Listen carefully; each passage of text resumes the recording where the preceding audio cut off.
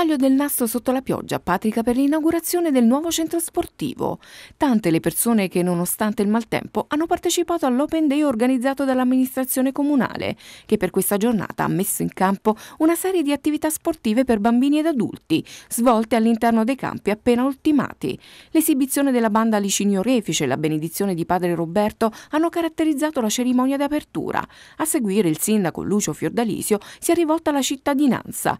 Chi governa un territorio territorio deve guardare alle nuove generazioni, ha dichiarato.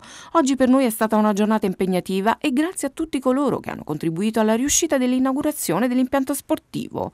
A mio avviso, sottolinea il primo cittadino, le opere realizzate dentro un territorio sono figlie di tutti, non sono di proprietà del sindaco, dell'amministrazione o di un singolo cittadino. È l'intera comunità che deve adottare e custodire quello che nasce dal nuovo. Il nostro paese, così meraviglioso ma allo stesso tempo molto articolato e disomogeneo, ha bisogno di spazi e luoghi dove ritrovarsi. Questo è quello che io e la mia amministrazione abbiamo cercato di fare, questa è la nostra visione. Il sindaco spera che rimanga qualcosa di buono del lavoro e dei sacrifici fatti.